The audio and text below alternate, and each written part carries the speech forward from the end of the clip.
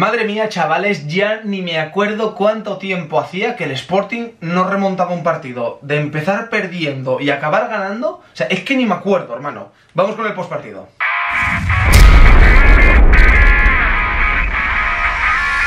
¿Qué pasa, manes? Yo soy el Opi23, bienvenidos a un nuevo vídeo, un nuevo postpartido. Córdoba 1, Sporting de Gijón 2. Empezamos perdiendo y como ya dije, conseguimos remontar un partido en el cual, sinceramente, yo no vi que fuésemos muy superiores al Córdoba, pero sí que tuvimos mayor eficacia. Además, empezamos perdiendo con un gol que, a ver, era un poco fuera de juego. Tampoco fue una cosa clamorosa y sobre todo partimos de la base de que el gol nos lo marcan primero porque pierdes un balón a lo parguela total y absoluto saliendo a la contra con 5 o 6 pibes, das un mal pase con lo cual te pillan a la contra y luego con un Alex Pérez amigo que fue de broma, o sea, defendió de broma la marca del delantero, defendió fatal, ¿vale? Fatal, Mariño no pudo hacer nada, pero bueno, y es lo que hay. Luego conseguimos un gol, tío, bastante chorras, muy chorras diría yo, un córner que rebota ahí en la espalda, no sé si de Alegría o quién, otra vez la espaldiña de Alegría o de Jurjevic, una espaldiña más por ahí, la chepiña en HD, y apareció Monami Payberns, eh, Totiu Monami Payberns, placa con la zurda, ajustándola al más puro estilo Ronaldo Nazario da Sousa Faria, ¿vale? O sea, espectacular. Y luego, pues al final, en una jugada que saca una falta molinero en el medio del campo, la clásica bombiada, la peina creo que es Pablo Pérez, la peina también Alegría, hay tres defensas, tío. Tres, un triángulo de defensas con el portero. Cae el balón con nieve. Y aparece un Carmona salvaje en la zona que remata solo, mientras que están los defensas mirándose entre ellos y el portero mirando para los defensas. Yo creo que los dos goles nuestros fueron puras chorras, pero ahí están, también entran, también nos los hacen a nosotros. Porque, por ejemplo, tuvimos ocasiones más claras. Tuvo una Jurjevic que hizo una jugada brutal a Hitor, tirándose un sombrero, bueno, la de Dios, y acabó reventándola con un paradón brutal. Y otra que puso un centro alegría que remató Jurjevic. Sí que es cierto que con el portero muy cerca, escorado, lo que quieras, y hizo otro paradón el portero.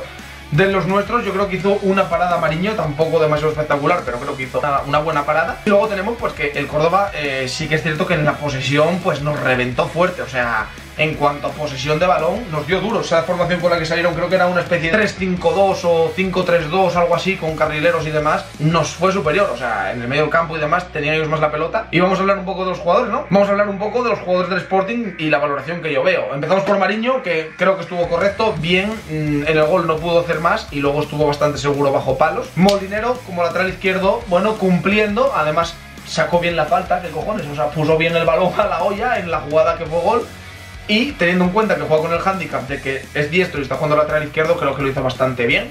Payverns para mí lo hizo muy bien, marcando gol y todo, intenso, defensivamente al menos pon cojones, como se suele decir.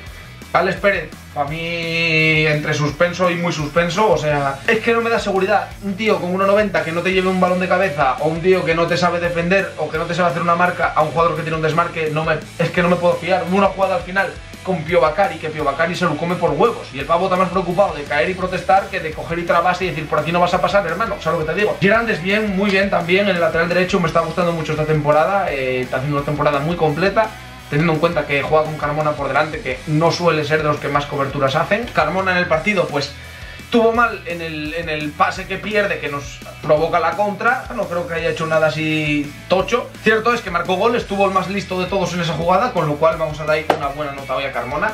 Que creo que hoy, bueno, pues podemos darla, ¿vale? Vamos a darla, vamos a darla. Marcó gol y hizo las cosas bien. Vamos a ver. Kofi y Nacho, para mí hicieron un buen partido los dos. Kofi hizo lo que tenía que hacer otra vez, tío, robar y darle el balón. No pidas que conduzca, no pidas que regatee, no pidas que te haga desplazamientos de 30 metros. Él roba balones y da balones cerca. Ya está.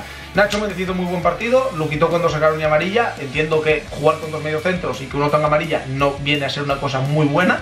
Tampoco querría jugársela a que lo pudiesen expulsar teniendo a Cris Salvador en banquillo. Banda izquierda y Thor, bien, pero... Eh, joder, hermano, es que tira muchas veces pero no va a ninguna puerta. Van todos siempre altos o desviáis. Me mola la intención, me mola la, idea, pero... Joder, hay que, hay que afinar el, latigazo, hermano. Y sobre todo hizo una jugada muy buena para dejar a Jurjevic solo, que fue un paradón del portero y... Bien, Aitor bien. Y llegamos a los delanteros, Yuka y Alegría. Yuka pegándose con todo el mundo como siempre, tuvo sus ocasiones, no consiguió marcar gol, lo acabó sustituyendo. Buen partido de Yuka, a ver, guerreando como siempre. Y Alegría, sinceramente, le voy a dar una buena nota, un notable, porque, o sea, el pavo va de menos a más. Acabando los partidos, dando, dando balones, o sea, tiró un par de centros Alegría que, que, te los firmaría el, mejor Charlie K, ¿sabes lo que te digo? La mejor versión de Charlie K te firmaría los centros que puso Alegría hoy. Yo creo que jugó muy bien Alegría y creo que está aportando mucho, jugando con dos delanteros, ayudando mucho a, a Jurjevic. Y joder, pues hay que reconocer que el chaval está haciéndolo de puta madre. Y de los cambios, pues bueno, entró Ibi, que no hizo nada especialmente bien ni especialmente mal. Pablo Pérez, que lo mismo entró a pegarse, cayó a una banda, cayó a la otra, peinó balones, creo que lo hizo bastante bien. Y Cris Salvador, que vino a cubrir lo que venía siendo el cambio por Nacho, y lo hizo de puta madre, a pegarse en el medio del campo y a furar. Y era lo que tocaba, porque este partido ya os digo que fue muy, muy trabado. Total, que nos encontramos con tres puntos, victoria, tercera victoria consecutiva, y el próximo fin de semana tenemos el derby en el Molinón. Si veo que reventáis esto likes, ¿vale? Pues intentaré traeros un blog del próximo domingo que bueno, a ver, va a haber salseo, va a haber salseo en el Molinón, viene el Oviedo, vienen de ganar también, tenemos ahí, creo que son 5 puntos de diferencia entre, entre ellos y nosotros, con lo cual si ganamos nos ponemos a 2 y si perdemos nos ponemos a 8, si empatamos pues seguimos igual, evidentemente. Así que ya veo, si queréis ese postpartido o ese blog también, pues reventadlo a likes. Y bueno, pues dejar un like también porque conseguimos ganar y remontar, que es que, es, es que remontamos un partido, joder, remontamos un partido, hermano remontamos un partido. Y nada, me puse la camiseta hoy de la que me regaló Jordi Calavera, pues porque dije, vamos a ponerla que está aquí, a ver si nos trae suerte y nos trajo mucha suerte, así que también un abrazo a Jordi Calavera. Y, nada, pues vamos a seguir con, con, el salseo. Seguidme en Twitch, que esta noche seguramente hagamos directo ahí de Food Champions. Y en Instagram, que tenéis ahí, pues cosas salseantes, ¿de acuerdo? Venga, Push Sporting, nos vemos en próximos vídeos, en próximos directos, en próximos vlogs. Madre mía que ganamos remontando un partido, joder. ¡Hostia!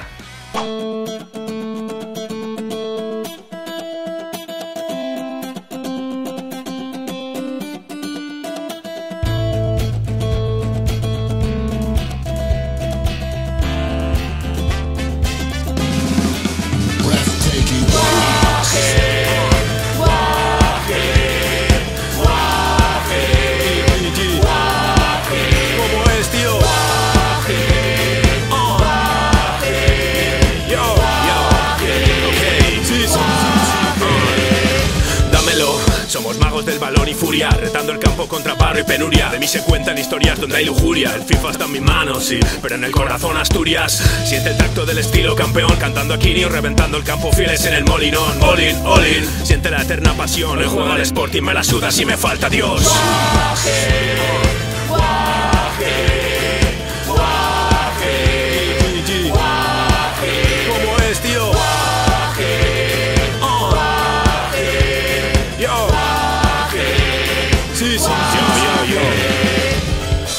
Faltas tú.